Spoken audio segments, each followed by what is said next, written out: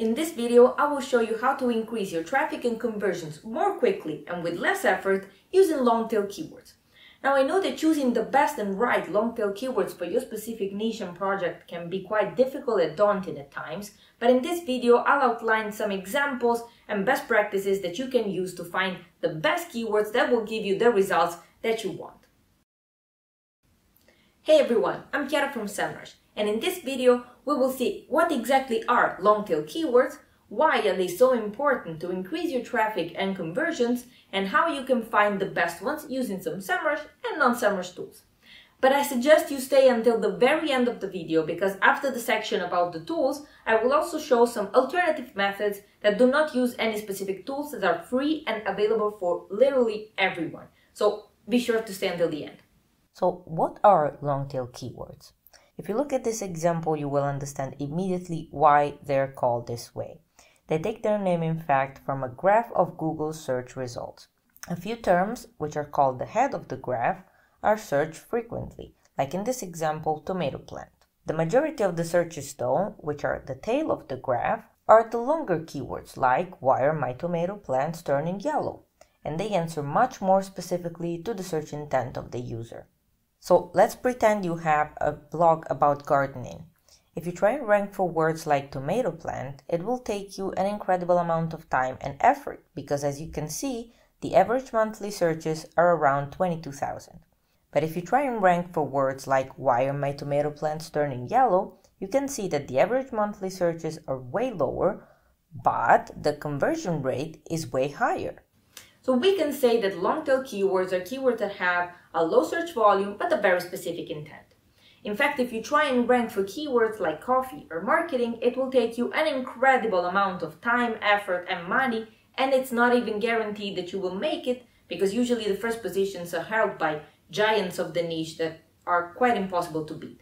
But if you will try and rank for less search uh, keywords like how do I make great coffee at home or what do content marketing agencies do, uh, this will give you a much higher chance, both in terms of money, effort, and time, uh, to position and rank in higher positions in less time. Why long-tail keywords are key for boosting traffic and conversions? Well, first of all, it's much easier to rank.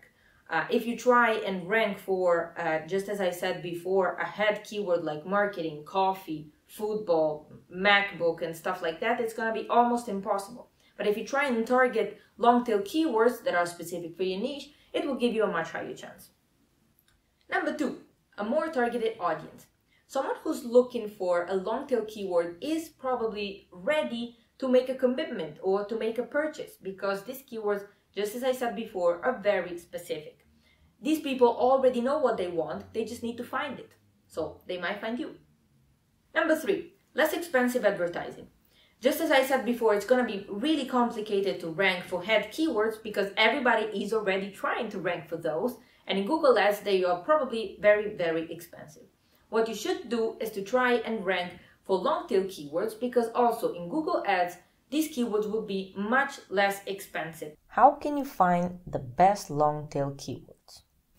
There are some principles that can help you create a list of the best long tail keywords that will help you uh, increase your traffic and conversions. But before we find those, I need to ask you two questions and you need to be ready to answer them.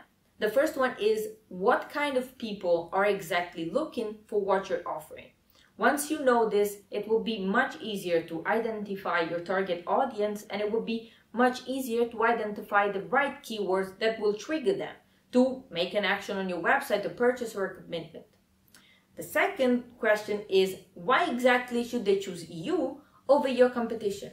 What is your competitive advantage? Because it should be something that is already clear when people are Googling for something. If they find you, have you used the right keywords that already make them understand what you're about and why you're better than your competition? Tools to find lists of potential keywords. I'm going to give you now a small list of tools that you can use to create great lists of long tail keywords. And these tools are Keyword Magic Tool, Topic Research, Keyword Gap Tool, and Google Ads Keyword Planner. But just as I said in the intro, be sure to stay until the very end of this video because after I'm done with these four tools, I'll share with you some alternative methods that you should definitely not miss. Now, let's start with the keyword magic tool. With the Keyword Magic tool, you can input keywords and select your country, and SEMrush will provide you with a list of keywords that are correlated to your seed keyword. Here, for example, I have put tomato plant. Let's pretend I'm interested only in, I don't know, how to grow tomato plants.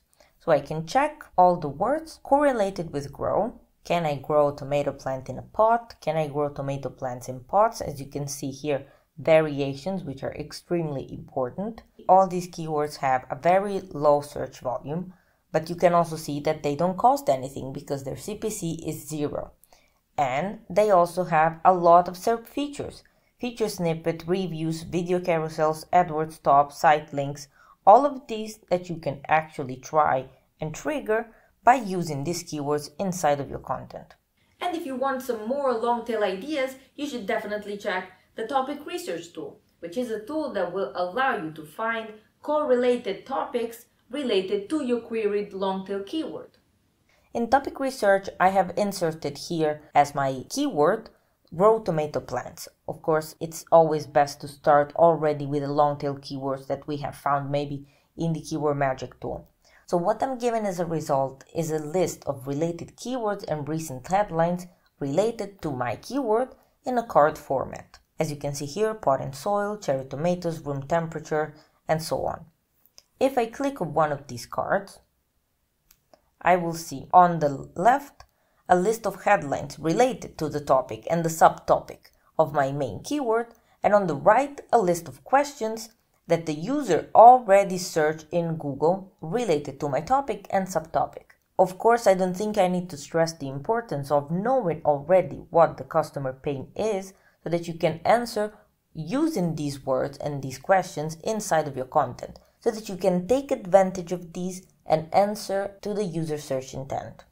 Now let's move to the keyword gap tool, which is a super useful tool to understand what the competition is doing. In this tool, in fact, you can put your domain and compare it immediately with four of your competitors' domains. You will see which keywords you have in common, which keywords they rank for that you don't, and it, it will give you a lot of insights on which keywords they're targeting. So to check the keyword gap tool, let's try with a little bit of different example. Uh, here I've put as the root domain petsupermarket.com and the tool has already given me a couple of automatic competitors found of course by the tool. And here below I will see a list of shared keywords that all three domains share. Now as you can see for example for self-serve dog wash Pet Supermarket is not in top 10, but Pet Supplies and PetValu.com, they are both in top 10, actually in top 5. So what I can do is add these keywords to the keyword manager in the dog wash list, as you can see, and I can do that with many of other keywords that I can find in this very simple view in comparison with my competitor. Once I have found the keywords that I want to try and rank for because I have seen that my competitors are doing better than me, I can use these keywords and put them back in the keyword magic tool and try and see which correlated keywords I can get as results that I could maybe use into some of my content so that I can try and rank better than I did before and maybe take some positions from my competition. Google Ads Keyword Planner. Inside your Google Ads account, Keyword Planner presents you with the two options discover new keywords and get search volume and forecast. With these two options, you can actually get insights into different search terms and see the estimated volume of clicks and impressions you could receive if you ran ads with these keywords. When you use this tool for keyword research, you can search for terms and brands, enter a domain to use as a filter, and use other filters if you want to for an even more targeted search for even long tail keyword ideas. The tool will generate a list of keywords for you and it will also tell you how much Google Ads competition there is for each keyword and how much you can expect to pay per click. Even if you're not planning to run a Google Ads campaign, this gives you a very good idea of how much each keyword is worth and how difficult it will be to rank for each keyword in organic results.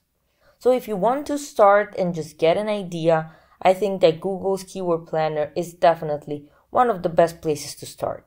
Now, I know that what I'm about to say might sound a little old fashioned or unorthodox, but there are some alternative methods and some very easy tricks that don't require any tools. For example, Google's autocomplete feature. When you start typing something into Google search box, it will already show you a drop-down list of terms that people are already searching for. And add extra words to your search term to generate more long tail possibilities. You can even adjust an extra tiny letter after your search term to see different autocomplete keywords. As you can see here, I have just started writing best content marketing P and I already have podcasts, platforms, practices, programs, so that I already know that there are at least three different ways I could go podcast platforms and practices. Another alternative method is to check Google's people also ask. If Google is showing what people ask, there is something to learn. When you do Google searches, always review the section of the SERPs. And if I click on it, I will get blog post an article that actually answers that specific query. So once we have found the keywords, with or without the tools, doesn't matter. We should go over the list again and try and keep in mind the user search intent. What were these people looking for when they searched these long tail keywords? What stage of the buying process were they at? What were they hoping to find? And most of all, does your content answer the questions that they had? And a bonus tip, pretty important, it doesn't matter how good the long tail keyword you found is. If it doesn't answer a specific question, if it doesn't answer to a need of your target audience, it's not to help you. It's actually to annoy the people that find your content because it doesn't answer to their question. So don't use it. Doesn't matter how good it is. And last but not least, actually the most important thing probably of this whole video is that you should use your long tail keywords effectively. What do I mean with effectively? They should look natural inside of the text. That your content, your blog post, or whatever shouldn't be looking like it has been written by a robot because the users will notice that they will leave your website annoyed, leaving you with no traffic and no conversions. Use them naturally. Put them in the title, in the header, in the subheader, and preferably even in the first paragraph and the first sentence. I know that you might have some questions about this, like for example, my long tail keyword doesn't fit my title, or it doesn't sound nice in the sentence, it sounds weird. Well, I can only tell you to get as creative as you can. Use variations, punctuations, turn the sentence in a different way so that you can actually fit that keyword there. And if it doesn't fit the title in any possible way, even turning and using variations, well, just don't worry too much. What's important is that you never sacrifice the usefulness and the readability of your content because the user is always, always the most important thing. And that's it. Uh, that's how you increase your traffic and conversion, finding the best long tail keywords for your project. And let me know in the comments below if you have used any of the methods I outlined before, if you have used any of the tools, or in general, what is your workflow? I'm super curious. So I'll be waiting for you in the comments. And also don't forget to look in the description because as usual, I'll be putting there some super useful content, resources, blog posts, videos. So just check the description. It's always worth it. And if you like this video, uh, please don't forget to subscribe to the channel and activate the notification bell so that you never miss any of the content that will be posted. Thanks a lot for listening. Have a nice day and I'll see you in the next one. Ciao!